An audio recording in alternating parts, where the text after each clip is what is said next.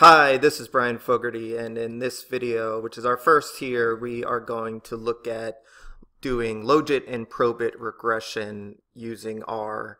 And so this video we're going to do is just really just a real simple one. It's our first one here, so we're just going to take a look at how to actually run it in R. And so what I'm doing here is, uh, so I'm using R Markdown, and so the title, which if you've used it before, I don't know, uh, is right up here and we're going to do a Word uh, document output. And so what I've done is go ahead and I've set the working directory and I'm using the data source that I'm using here is the 2011 Scottish Census data, um, which also has this, you, know, you can see from the name there, it says it's cleaned and it's using Stata 12. So it's actually a Stata 12 data set. Um, you can see that from the .dta and so given that it's a, a, a version 12 uh, Stata data set, we can actually use the foreign library. So if we just run this here, I've actually already done this, but we can show up here. So it comes up right here in the window um, that says data where there's 18 variables and 63,000 observations. All right, so I, in this video, we're not going to do a lot of, of data management stuff. Um, I'll put a link to the videos that are for uh, my book that came out recently on this. Um, but uh, what we're going to do is one of the variables we're going to look at here is um, someone's marital status. And so the variable has five different categories in it. And so what, what we do here using the car package is we actually just recode it in order to make it a uh, simple dummy variable where it's one if someone is married or in a civil partnership and zero otherwise. So I'm just going to highlight this and run this. Okay. Okay, so the data set again is the Scottish Census and what we're going to do here is we're going to run a real simple regression. We're just taking a look at how to do these things here. Um, using a our outcome variable, which you might call a dependent variable, is uh, whether someone's employed or not. All right, and then we're going to use a uh, three predictor variables. So, so the marital dummy one that we just uh, did above, and then someone's gender, and then someone's health status. So health status uh, in this data set is a variable with five categories that are increasing on how good someone reported their health. Okay, so what I'm going to do here, so so if, if you're not used to R Markdown, um, this this little thing here, this is a code chunk, and so what it's doing is it's telling you to um, we want this code to actually show up in the document. That's what that gray space looks like right there. Um, and so echo equals true. There's a whole bunch of options here you can do, but echo equals true just means show everything, show show all the errors, um, warnings, and the code itself. More importantly. Okay, so um, I'm going to cut through a bunch of stuff here. And so if you're used to doing using R, right, you know that it's an object-oriented language. And so um, what we're going to do, I'm going to do two versions here of how to look at this. So we're going to create an object called model1. And then to do a logit regression, we're going to use the GLM function. All right, so if you've done linear regression in R, the shape of it looks exact same as that. So the linear regression in R is with LM, this is with GLM. And so our variable here is employment underscore dummy Okay, and then we have tilde, which separates the outcome variable from the predictors, and then gender plus general underscore health, okay, plus our marital dummy variable. Okay, and then uh, we need to specify the model that we're using because GLM, right, stands for Generalized Linear Model, so that can apply to basically anything that's not a linear model. And so we need to specify this. So we're going to do family equals, um, actually, you know what? This is what I'm going to do because it's going to make the code look better when we do the, the R markdown. I'm going to do, after this comma here, I'm going to do enter and then bring it down to the next line.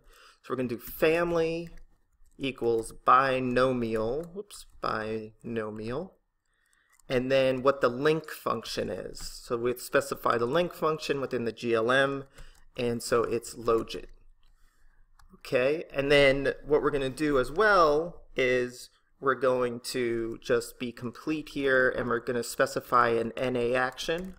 And so this, so the NA action is just uh, what what should you do or what should R do with missing values. All right, so NA, that's what that stands for. So we're going to do NA equals NA omit. So there's a bunch of different options you could do here. You could do NA remove. Uh, that's another one. And then we just specify what the data is. So data equals data. All right, so let's highlight that. Okay, and this is going to be the tricky thing, which if you haven't used R, right? So that just created that object. So we saw we got no errors, but we don't get the output. So what you need to do is actually do summary and then model dot one. Um, what I like to do actually instead, so I'm going to run that and I'm going to rerun this here, is take this first line of code and I'm just going to copy paste it and then wrap summary function around that. So summary, um, open parenthesis, and then close it at the end. Okay. All right, so I just reran it here. So let's take a look at what the output is. I'm going to pull this up just a little bit here. Okay. All right, so we get this output. Um, it looks quite similar to any type of um, program uh, anytime you're doing regression here. Um, and so we have here um, a bunch of different information. Um, with the GLM function, we get the AIC down here. One of the things it doesn't give us, which we'll, we're, we're going to look at in a little bit, is the um, pseudo R squared numbers.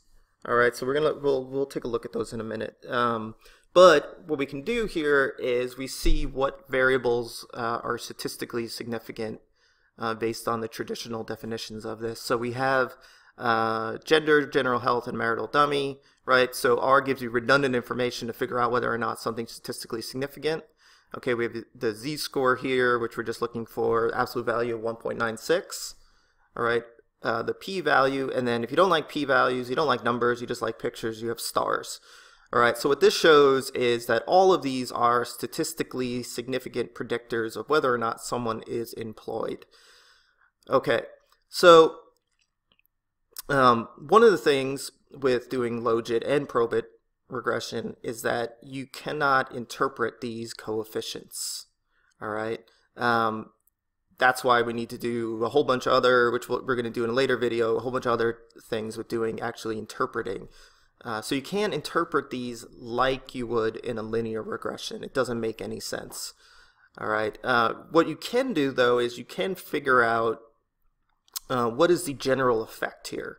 So gender, the higher category is female. So given that it's a negative coefficient, that means that roughly that the the likelihood or the probability of uh, a woman being employed is less than a man. And then this says that uh, the so general health is a positive coefficient. So this says that uh, as someone's health is is better, they're more likely to be employed. And then this is the marital dummy, which is the higher category, is that um, uh, is that someone's married, and then so zero is someone is not, and we left that very vague, um, meaning like you could be retired or a student. So this is positive, so that means if you're married, you're more likely to be employed. Okay, so let's say that you want to run a probit regression instead of a logit. Now, uh, I'm not going to spend a lot of time talking about the sort of major differences in these things, um, but in terms of binary outcome models, it really is the case that the real big difference between logit and probit is just the assumptions made about the error distributions. So logit assumes you have a logistic error distribution where probit assumes uh, you have a normal error distribution. And so that's the main that's the main difference really. Um, people a lot of people like probit because there's a, a lot more known about the normal distribution than the logistic distribution but you're going to get roughly the same results. The coefficients are going to just be different sizes but when you interpret the effects they're going to be roughly the same. Um, and we'll see as well that with with logit um, you can do odds ratio but you cannot do that with probit all right so to do probit in R what we do here is I'm just going to steal the code from above with the logit regression. And I'm going to change this to, instead of model 1, model 2. All right. And then I'm going to change the link here. And so instead of logit, I'm going to do probit. All right, so I'm just going to highlight all this and just run this. Okay, so we can see, again, the output looks quite similar to what we just saw with logit. All right, and we have that the uh, we still have this sort of same conclusions about the statistical significance and the direction of the effects. Okay, so that's it for this video. Again, we're just taking a quick look at he, at, at how to just simply run Logit and Probit. Um, in, in the next videos, we're going to look at other aspects here. Um, the final thing I want to do just here is, since we're using R Markdown, let's just run it. So to run R Markdown, if you have a file .rmd and we set it to Word here, you just click on this knit button. And then it should hopefully not take very long. Sometimes it depends on how much code you have in there. Um, and the errors, that if there's any errors, then there'll be a problem. And so, uh, so sometimes it takes longer than other times. All right, so it started the sync here. Um, it's going through the processes. Hopefully, and then it, the other thing is once you've run a, uh, a markdown document um, and then you make some changes and, and, run it again, it'll go faster. Um, so it's just doing it here. It should not take very long, hopefully. We'll just give it a minute. Let's just give it a minute and come back. I'm just going to pause the video and then we'll come back and take a look at it. Okay, so it finally ran and spit this out right here. All right, so this is what you should have gotten. All right, what's nice, I mean, this is pretty, we haven't included any text or anything, but what's nice is that it makes, you know, if you're, if you're doing a project or paper or something, it's just nice because it makes it nice and clean and everything like that. Um, and so I could do a, a, video where we look more at um, doing R Markdown, but we'll just leave it for now. All right, so so again, in this video, we just look quickly at how to do logit and probit regression in R. Um, and so I'll see you next time.